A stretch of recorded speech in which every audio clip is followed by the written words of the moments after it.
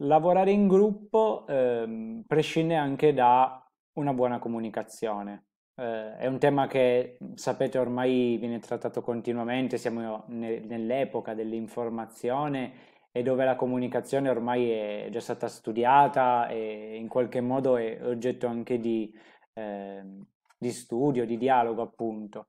Ehm, io tratterò dei pezzettini che ritengo importanti, ecco, non si può trattare così come il tema del gruppo non può essere trattato in, eh, in una singola video lezione e con poche slide.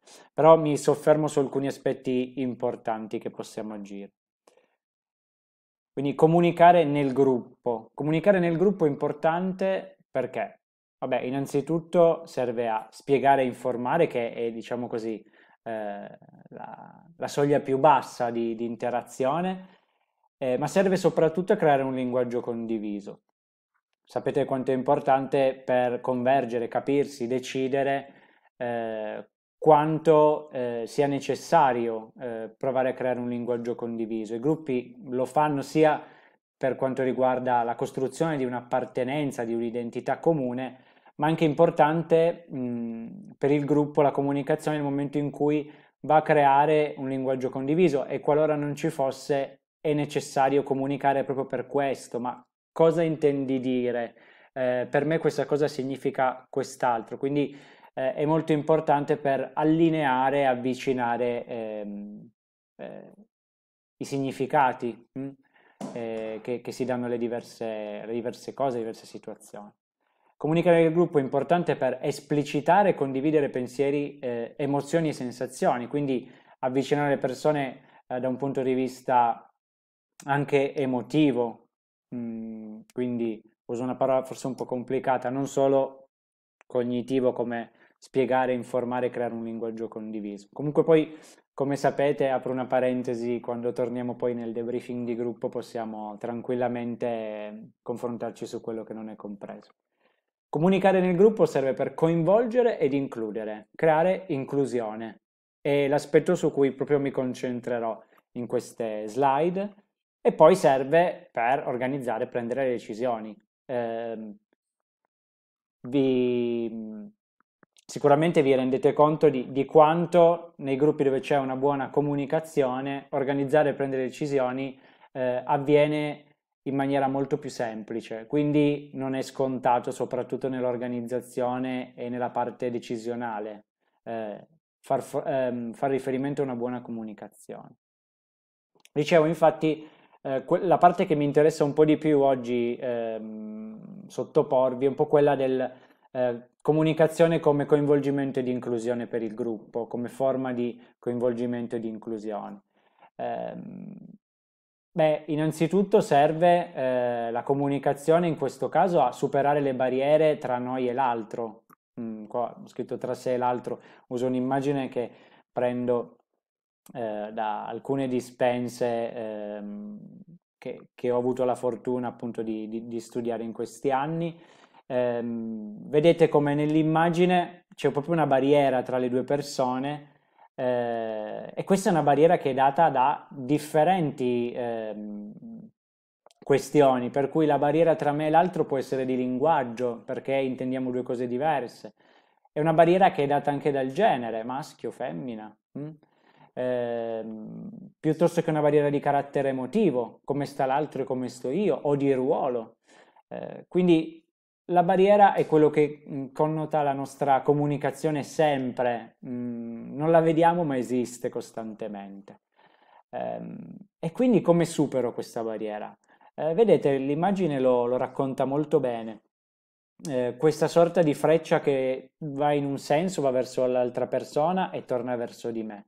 Quindi l'unico modo per superare, rendere questa barriera così un confine eh, meno rigido è proprio questa sorta di pendolarismo, no? Quindi mh, mm, proprio questo gesto qua, andare da sé all'altro ehm, e quindi fare in modo che la comunicazione viaggi il più possibile e non, non si fermi a quello che eh, io voglio, voglio dire, voglio intendere, ma provare a attivare un confronto costante con l'altro.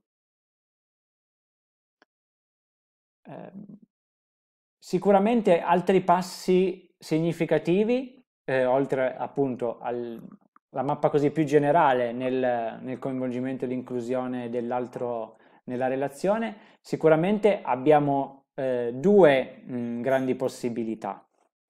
La prima è quella di immaginare cosa pensa e prova l'altro. In gergo vi dico un termine magari che non avete mai sentito, eh, a mentalizzare, cioè a dire ma chissà cosa sta pensando o in quel momento intenderà questa cosa. Ehm, e poi utilizzare le domande.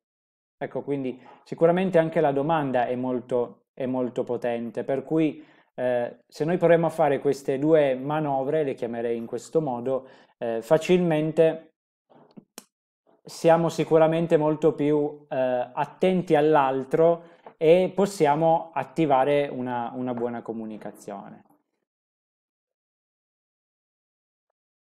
Eh, vi propongo altri passi, eh, diciamo così, ecco, i due precedenti sono un po', eh, li, li, possiamo azionare, li possiamo azionare sempre e soprattutto sono eh, un po' la base di una buona comunicazione tra i membri eh, di un gruppo. Però ve ne, ve ne elenco qua altri che a mio avviso sono interessanti e vi invito a provare, soprattutto a praticare. Um, sicuramente per una buona comunicazione in gruppo devo portare il mio punto di vista, quindi parlare di me, qua infatti vi scrivo parlare di sé, ho usato il termine inglese eh, role making, cioè giocare il mio ruolo, portare il mio punto di vista, il mio pensiero, le mie convinzioni, io, quindi eh, essere centrato più, più, su me stesso. Eh, ma alternare questa cosa a una sorta di, eh, si chiama role taking, cioè mi metto nei panni dell'altro. Quindi sì, parlo di me, delle mie convinzioni, mi espongo, mi eh, esprimo, ma provo eh, ad alternare questa cosa a un ascolto, una presa di visione della prospettiva dell'altro, eh, assumendo anche in parte le ragioni che porta. Quindi, qua ho fatto un esempio, eh, lui quindi pensa che, oppure tu quindi suggerisci quest'altra cosa. Um, è molto importante questa alternanza tra il parlare di sé e il mettersi nei panni dell'altro sicuramente. Eh, e poi fare un movimento per cui, eh, ecco io qua non l'ho messo nella slide, però un movimento quasi circolare attraverso al ritornare a sé, per cui parlo di me, mi metto nei panni dell'altro, alterno questa cosa e poi ho la possibilità di tornare a me attraverso lo strumento del, del feedback, che conoscete benissimo, un termine anche questo molto utilizzato ormai il riscontro, il rimando, la risposta, il parere, ecco, mm, possiamo anche usare dei termini, eh, la nostra lingua è ricca di, di termini che eh, mm, in qualche modo si avvicinano eh, e riguardano questa quest'area, questo capitolo del, del feedback. Quindi ehm, è un movimento che se volete può essere circolare, quello che ho appena illustrato in questi tre passi. Ma per coinvolgere non solo eh, le persone nel gruppo, soprattutto in un'ottica non esclusivamente di relazione uno a uno, di interazione uno a uno, quindi i tre passi mh, precedenti eh, sono sicuramente molto validi eh, in una relazione uno a uno, oltre che nel, nella relazione all'interno del gruppo.